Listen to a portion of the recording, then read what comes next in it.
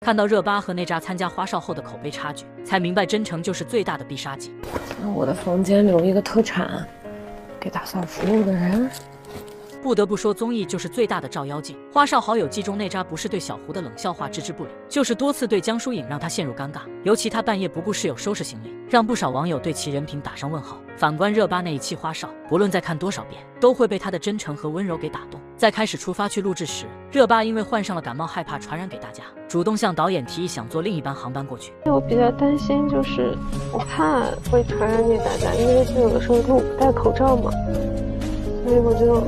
跟我工作人员商量说，我要不要也跟他们一班飞机？到了住处，发现床位不够，他又争着要单独的小房间。我睡这就好了。不是，因为反正我也是感冒，你看我也一直戴着口罩呢。嗯嗯，咱咱还是得。其实我比较大的一个想法，就是在于我不想把感冒传染给大家，所以我想要就把自己给稍微隔离一下。之后因为身体不适，自己待在住处也不闲着，把客厅里大家的行李箱通通整理了一遍。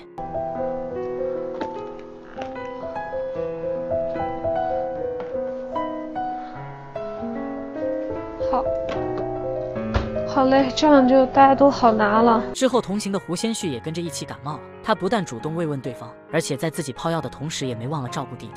泡药，我给那小孩也泡一个吧。拿这个。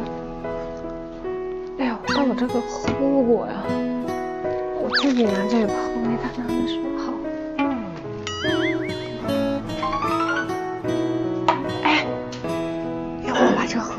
总是挂念着身边的人，这种暖心姐姐谁能不爱呀？在和秦岚一个房间时，她担心半夜吹头发会把秦岚吵醒，硬生生在阳台上坐了一个晚上，等头发自然风干。我说爸爸呢？人呢？他在阳台坐着，然后在椅子上。我说你在干嘛？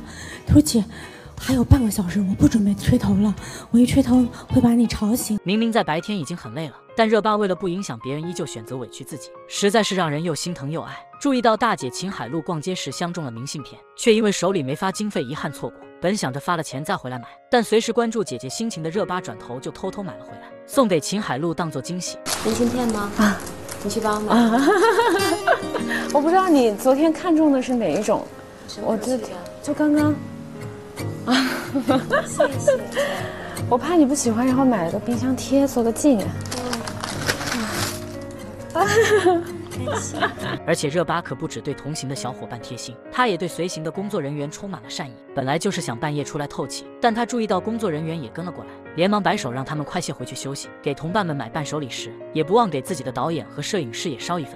就我觉得最后我还想给我的 PD 和我的摄影师也送个礼物，所以我就干脆就再买多买了一点。那我先给我的摄影师送个礼物，这是给你的礼物。你得要，这是手套，我昨天买的。